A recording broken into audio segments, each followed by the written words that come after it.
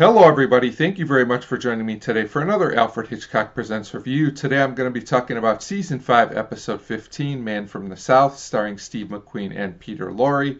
And as always, there will be episode spoilers. So, Man from the South is one of the most famous Alfred Hitchcock Presents episode and also considered one of the best. So I was very interested to watch it. And I do agree, it's really, really good and a classic, although it's not my uh, very favorite personal episode, mostly because of the ending, which I think works but could have been better in my opinion.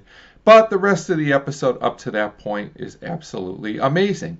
Steve McQueen and Peter Lorre are great and really had me invested in the plot, which is very straightforward.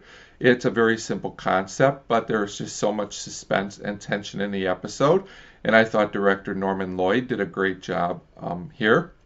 So this episode starts with a woman sitting at a bar, and she's played by Neile Adams, who was married to Steve McQueen at the time, so they have really good chemistry together in the episode.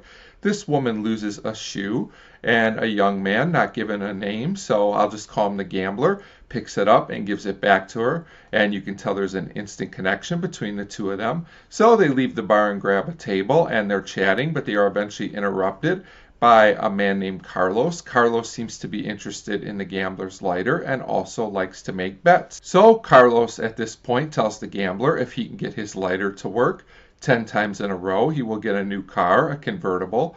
But if the gambler fails, Carlos will cut off his finger.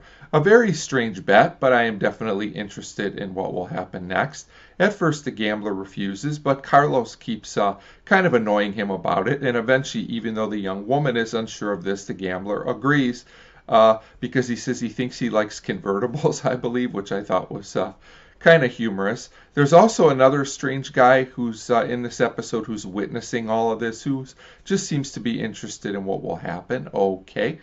so everyone involved goes up to Carlos's room. Carlos gets a hotel employee. Uh, to get them the things that the group will need for the bet, including a knife for chopping. Very creepy stuff indeed, and I'm starting to question uh, Carlos at this point. So Carlos eventually gets the supplies, and with everything set up, the game begins. And I have to say, when the gambler starts lighting the lighter over and over, there is definitely a lot of tension. Added with the fact that Carlos seems very eager to chop off some fingers, so I have to say this scene is really well done and pretty great. So the gambler gets up to about seven, I believe, and I'm curious to see how this is going to end. Will he win or lose? So at this point, suddenly a woman bursts in the room claiming to be Carlos's wife. So the game ends at this point. It turns out she is upset because Carlos has done this many times before. He has chopped off a lot of fingers and also lost some cars in the past.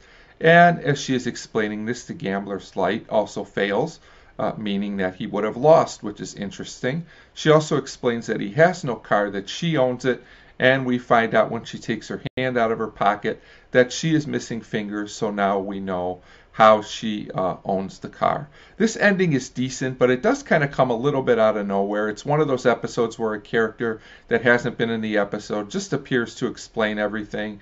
The mood is also strange. Not sure if they were going for serious or dark humor here.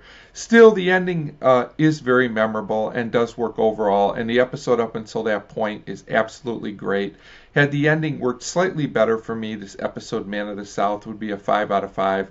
But as it is, I still think this is an essential episode, and I am going to give The Man of the South 4 out of 5. I do consider this a must watch episode for fans of the show because there is a lot of suspense and a lot of tension. As always, thanks very much for your support, and thanks for watching.